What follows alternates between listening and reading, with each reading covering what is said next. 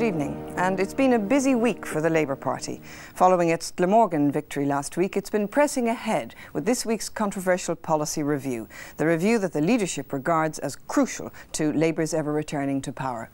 So far, the changes accepted by the party's National Executive Committee include the abandonment of its unilateral disarmament stance and the embracing of the market economy, both roundly condemned by the left and likely to face a somewhat stormy passage through conference. So here in studio to discuss the policies which could change Labour's electoral fortunes are Trade and Industry spokesman Bryan Gould and Defence and Foreign Affairs spokesman Gerald Kaufman by far the most controversial policy rethink to emerge this week, and the one to merit the biggest and blackest headlines was Labour's defence package.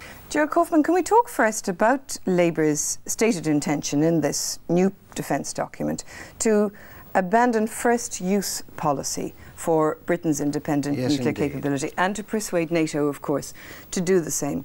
Can, can I present a scenario to you? Course.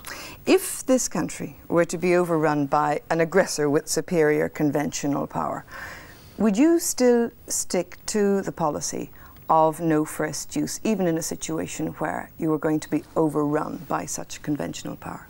It's funny you should ask me that question because there's an answer to it which, for accuracy, I'd like to read out. It's this. If I felt the national interest was vitally threatened, and the country was about to be overrun. If our conventional forces had been or were being defeated, I would have that option. I don't know whether I'd decide to do it or not. There's Mr. George Younger, the present Secretary of State for Defence, asked that question. He, with the knowledge of all that goes on in the Ministry of Defence, very wisely says that he doesn't know what he'd do. Please don't expect me, in a hypothetical situation in opposition, to improve on that answer. But can't you understand how people would feel a little bewildered at a situation in which we know the Warsaw Pact has greater conventional war power than does NATO? And they must ask themselves, well, then what happens? Say if NATO decides to accept the Labour Party's suggestion and change from their doctrine of flexible response to one of no first use. And say the Warsaw Pact countries begin to overrun NATO territory. Does one sit back and does one say, well, the rules of the game are, you know, that as long as they use conventional weapons and they don't use nuclear weapons, then we can't fight back, even though we know conventionally and conventional warfare fair terms, we are inferior right now. What you're saying is that the whole basis of NATO's strategy, on which President Reagan and Mrs. Thatcher, among other leaders of our country in the last 44 years, have relied, will have failed. What you're saying is a deterrent doesn't deter, because the whole point of having a deterrent is that you don't use it.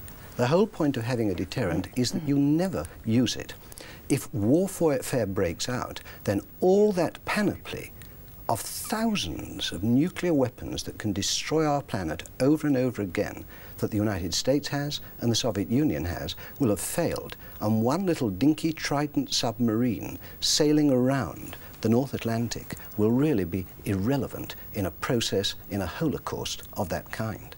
But the reason why the decision was taken to have a nuclear deterrent rather than get involved in expensive conventional war power was because it was felt that the existence of the nuclear power would deter. I mean, you quoted George Younger, and what he said was that they might he allowed for the possibility that a conservative government might use the nuclear deterrent. What he said he, was that he didn't know, and it was a very wise I think he answer. said we might or we might not. No, he didn't. He said, I don't know whether I decide to do it or not. But that allows for the fact. It's a very, it's a very important answer. But what you're trying to do, the lot of you, not just you, you're trying to press the Labour Party into giving an answer that the Conservative government will not give.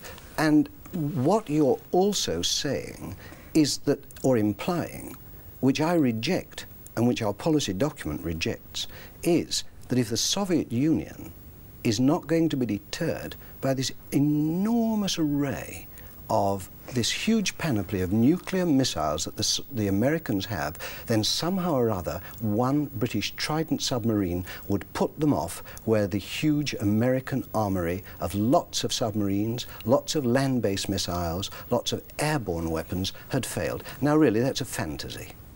But if, and I know that you have said in answer to this question, and I don't think there's any way away from this question, I do think it is a case that this question will follow you and hound you to the I next think, election. I, I, think you're obsessed if with it. If it would help a potential, only obsessed with getting an answer, if it would help No, you're obsessed with putting the question, aggressor, I think. If it would help a potential aggressor, and this is, I, I can understand as your point, if you were to say yes or no to my question about would you press the button, it would be irresponsible because it would give a potential aggressor some indication of where he stood. In fact, it would take away the deterrent effect of having nuclear firepower at all. But refusing to give a yes or no answer must allow for the fact that indeed you might press the button. Isn't that the logic of it? You can operate any kind of logical processes that your brain cares to involve itself in. But what if you I'm, say, what if you I'm say saying, no comment, what I'm, you no, I'm allow... Not, I'm not saying no comment. I'm not saying no comment. I'm quoting what Mr Younger said, namely that he doesn't know what he'd do. And I repeat what I have said, namely that no responsible government would assist a potential aggressor by answering that question. Only because, being responsible, they would want to keep a potential aggressor guessing. You're Isn't that what you want to do? You're adding that bit on. I've said what I'm saying. But it and must. what, I, and what I'm saying, I'm saying it to you as I've said it to lots of other people, is that this is a question that's a trap, and I'm not disposed to fall into the trap. I prefer the honesty of Mr. Younger to the persistence of questioners.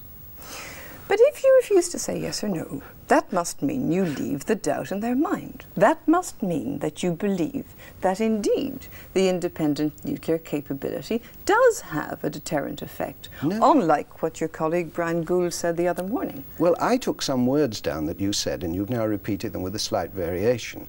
In the little film at the beginning of our section, you talk about Britain's new independent nuclear deterrent. You now talk about our independent nuclear capability. Well, I make two points about that. First, it's not independent. We do not, the French have an independent nuclear capability. They make the warheads, they make the missiles, they have their own testing facilities. We make the warheads, but we lease the missiles on a kind of Moss Bros basis, and I've been to the United States and seen the base where they'll be leased from, and we don't have the testing facilities. What we are doing, and it all stems from President Kennedy saving Prime Minister Macmillan's face a quarter of a century ago, what we have is a hired out nuclear capability. It, that, so that's the first point. It's not independent. But the second point is you call it a deterrent. And I repeat, how can you possibly believe that one British Trident submarine could deter if the American panoply of nuclear weapons did not deter? It's an absurdity and do, it's an irrelevance. Do you think that nuclear weapons deter? What I say is this, that if the Soviet Union is not deterred by the NATO American nuclear panoply. Let me answer the question. Uh, if the Soviet Union is not deterred by the American nuclear panoply, then it won't be deterred by anything. But I will also go along to say that the American nuclear panoply is very different from one British Trident submarine. But and do, I don't think I think the, it's a I don't think I think don't a straightforward think the Soviet question. I don't do, think Do you think that nuclear weapons deter? which nuclear weapons? If you're talking about, well, if, you're if, talking if, about a British, talk, if, you're, yes. if you're talking about a British nuclear capability, which is, uh, which is two percent yes. of the world total, then no, do I don't NATO's, believe. Do NATO's, I, do I NATO's nuclear weapons deter? What I say is that if anything is a deterrent to the Soviet Union, then the NATO nuclear weapons will be. But what I am, am saying is that you're asking about a class of weapon. I say of a class of weapon, the British nuclear capability, small and insignificant in the world total, does not. It's irrelevant. What I do say is that if the Soviets can be deterred by nuclear weapons, then it's the American nuclear weapons that well, can if that's, deter if that's your view, and if that's quite clear, and if you don't think that the British independent nuclear capability... Not independent, not okay, independent. the British Hired nuclear out, capability, hired out on the a- British nuclear a- capability. Let Kellogg- let me, let me, let me finish my basis. question. If you do not think that the British nuclear capability deters, then why do you have such great difficulty in answering the question as to whether you'd press the button? What's the point of pressing the button if it's of no use and if it doesn't deter? Well, that's, that's your question and that's your answer. That- that's my question, which you have steadfastly refused you can, to There answer. are some people, because I think you may have something else in mind that you might ask me a bit later on. There are some people who will use a weapon to destroy and not to deter.